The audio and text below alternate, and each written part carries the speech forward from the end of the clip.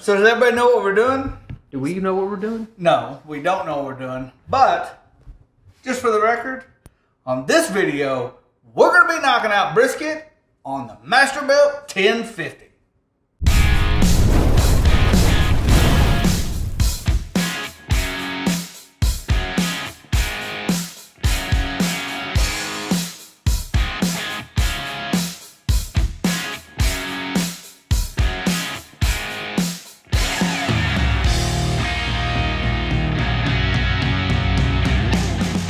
So in here, we got a third of the cup, a third of a cup, a third of a cup Smokehouse Reserve Blend. This segment brought to you by Modelo. there ain't none of that in there, bro. What's it? Reserve Blend? Reserve blend and moisture magic. Oh. Reser- so in this cup, we got a third of a. So in this mixer, we got a third of a cup Reserve Blend to a tablespoon of Moisture Magic. Make sure to mix the powders before you add the water. And if you got this little cool little fancy gadget, Oh. reverse osmosis, baby. Whoa. That is pretty cool. We're gonna blow this rig up, man. 20 ounces. Shake well. Clump it up. No way, man. Gotta know how to do it. No pro from back in the day. I'll mix that myself. My little trusty 20 ounce.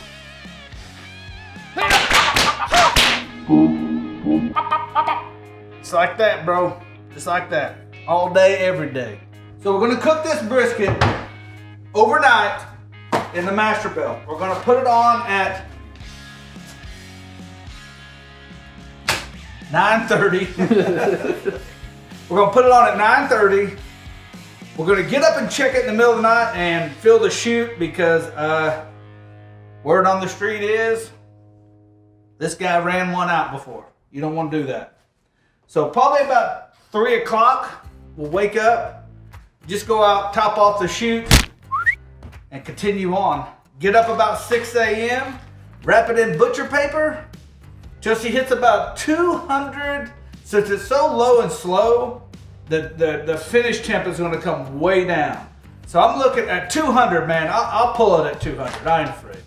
I'm not afraid. But I'm, I am gonna go off a feel though. So at 200-ish, we'll pull it, let it rest out on the countertop for a little bit, and then I have a huge, huge secret that I'm gonna share with you on how to get tender brisket from edge to edge every single time. As you watch this video, there's gonna be a, a couple little things that I do that you're gonna go, okay, now I understand. But you got, you may have to, you know, go back and watch it again.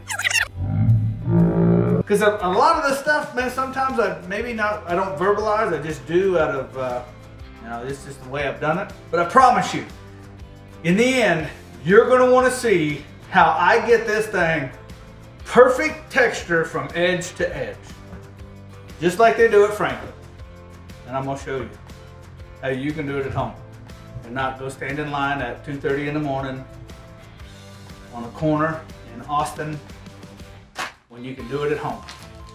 And just so you know, this right here, my friends, is a $56, $58 Walmart brisket. I picked that sucker up. oh yeah, baby. Yeah, look at that wobble. There's secrets in here, man. No shaking. No chicken. Yeah. What you and your boyfriends do out here? Yeah. so we're just gonna do a nice easy trim on this. Nothing crazy. Just make it a little bit aerodynamic. This is a this is a big old brisket too. 17 pounds. Oh man, come on. Look at that. They got us on this one. That's okay. Come on, bro. Time to get to whittling. Like I said, we're not gonna get crazy. Ugh. I don't like that piece right there. I never have. Save it. Touch Make sure you save this though. no, this, this actually doesn't look that bad. Like they, I mean, the fats. There's just a little spot right here. Other than that, I always just like to keep it about a quarter inch of fat, quarter to half inch, you know. But this doesn't look that bad. All right, so like I said, we're injecting this with Reserve Blend, Moisture Magic, and this is pretty much with a, a couple of minor tweaks. Uh, the same injection that we use in competition and has won tens of thousands of dollars. And what you're gonna wanna do is I'm just blowing this thing up. I ain't gonna lie to you. Uh, but normally you wanna inject every half inch and I'm only pushing about five cc's in there at a time. And what we're gonna do is we're gonna let this thing rest. We're gonna rub it, let it rest for a little bit, and then get it on the cooker. And like I said, we're gonna put this thing on at 9.30, run it till 6 a.m., wrap it. And I'm gonna tell you right now, this is gonna be phenomenal. Barring I don't screw this up. I, I don't think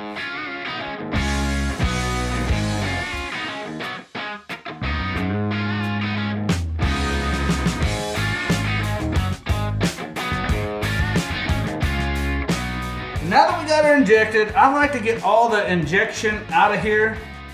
So I'll take a paper towel and just stick it in the corner. Let it soak up. So we're gonna get it rubbed down. I'm not gonna rub the bottom of it this time, because last time my brisket was just a tad salty. So I'm just gonna rub the tops and the sides. But I like pepper, so and just if you start crybabying in the comments about oh it's too much, man, it's a big cut of it's 17 pounds, man. Use your head. This is what it takes, man. And if you don't like that much pepper, then you don't use that much pepper. I like pepper.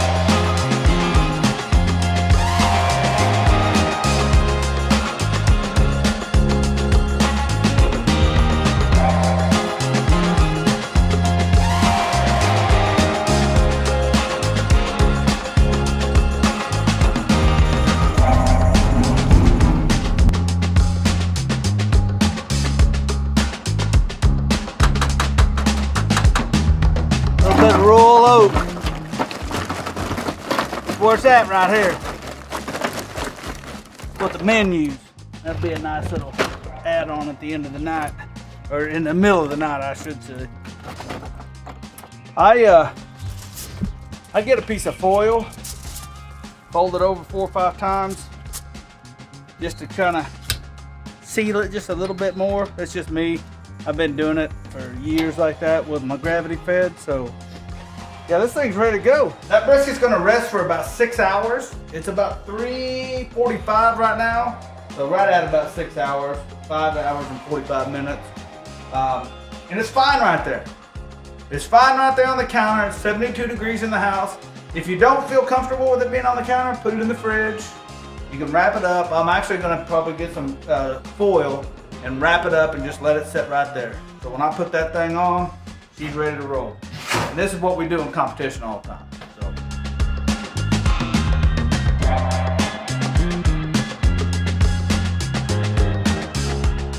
So. It's almost nine o'clock. I'm gonna go ahead and light this. Uh, made myself a little drink.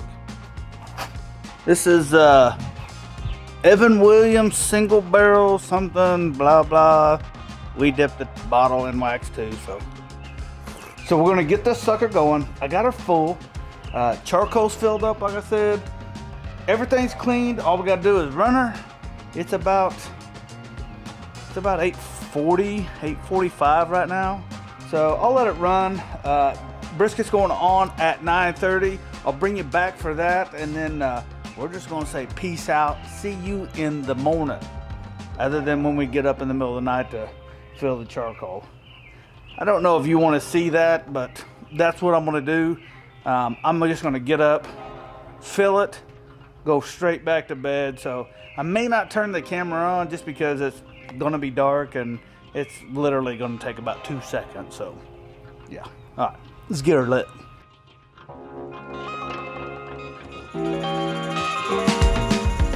All right, so this is the setup we're gonna be running. We're gonna run this one on the upper shelf this time because it's such a huge freaking brisket.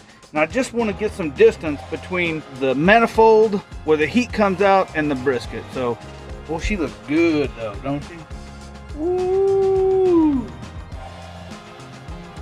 That's what I'm talking about. But one more thing before we get started. Time to add the wood chunks. And this is how many I'm at. Just a, just a handful. This is hickory. Just throw them in there. Oh, lost one. Go. Simple as that. Boy, isn't that pretty? Whew. Well, good morning. It's uh 5:38. I've managed to wake up at in the middle of the night and right now without an alarm. I think technically that means I'm getting old. But uh, it, it did look really good in the middle of the night, so let's go see. I'm gonna get a let me get my light. Hunker down to 25, baby. Oh, yes, this looks beautiful. Beautiful. All right, so I'm gonna go get this thing wrapped. Uh, obviously can't hold the camera. Um, I'll put it, I'll set it up in here on the table. I'll show you how I wrap it with the Kosmos butcher paper. Let's do it. So I got two sheets of butcher paper laid out. They're about, I don't know, three and a half feet long. I'm gonna set it right in the middle, flip it, fold the edges, flip it again, seal it, and go about back on the cooker. But let's go grab this brisket and make it happen. She's beautiful. All right,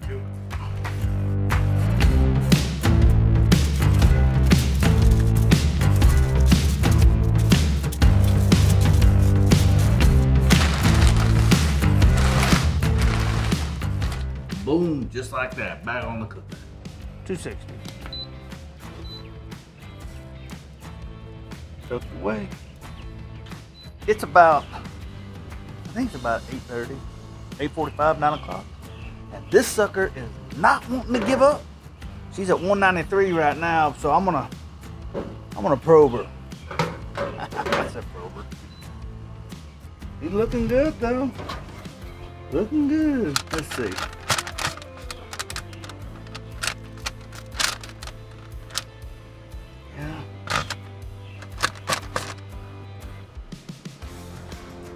Think she's done, dude.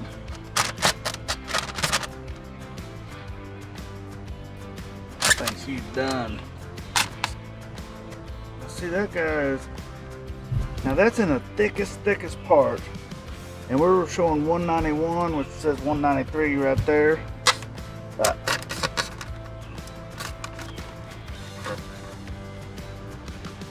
Yeah, I think she's done. I'm gonna give her. She's done. She's done. She's just a little tight though, a little tight. So I'm gonna give her probably 20 minutes. Pull her off. Boom. Then I'll show you my secret. You're not gonna want to miss it. All right, so we got her pulled off. It is now 9.07, so 11 and a half hours this baby has been on. Now we're gonna leave it here on the counter for 30 minutes and just let the heat dissipate. Then we're gonna come over here and wrap it in saran wrap. Now what that's gonna do is all the little tough hard edges, they all dry out. They just they just do. That's just the way it is. This is gonna allow them to re-steam and re-moisturize. That way you can slice from one end all the way to the other. Like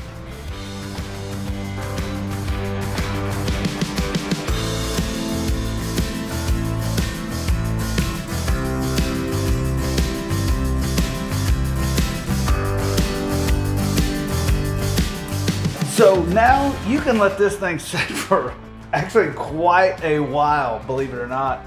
Um, I it's it's like I said 9:40 right now. I'm gonna let it set till about noon. What I'll probably do is fire up the oven and run it up to about 200 degrees, then kill it. and then just put this in there.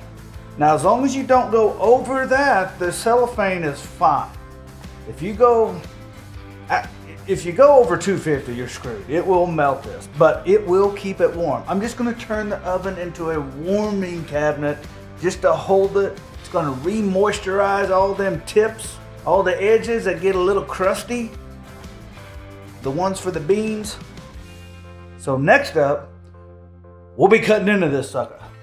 But I think I'm gonna run to the store, go get cleaned up, run to the store, see how things are going, and then uh, yeah, we'll come back and do this. It's right at noon. We're gonna pull this thing out, get it sliced.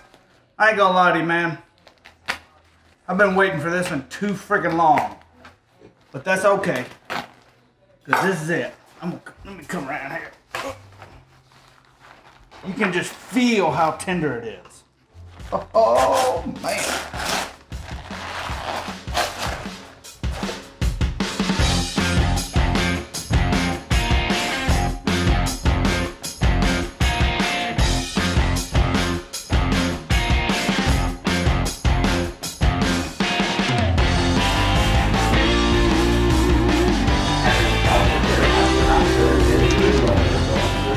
That is phenomenal. That's how you cook brisket right there, boys and girls. So hey, I want to thank you for watching. If you like what we're doing here, man, I'll catch you in the next video. Don't forget about our giveaway. Click the first link down in the description. Go over there, get signed up. We give away thousands of dollars worth of prizes every single month. And I'll catch you in the next video. Peace.